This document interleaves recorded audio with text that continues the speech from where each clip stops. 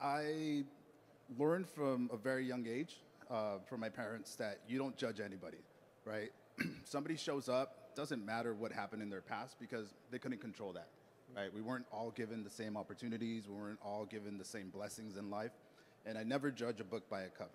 So the, the joke between me and QB is, is that an applicant comes in and he has a questionable background, right? A- And that GM doesn't want to give him an opportunity. He's like, oh, don't worry about it. Send him to Eric. Eric will hire him, right? So uh, I've been right nine out of 10 times. Uh, one time I had to get a restraining order against the guy, but we won't go into that. That'll be for another po- podcast. But um, there, there's people that I know on a daily basis who made bad decisions, and I'm not going to judge them for it.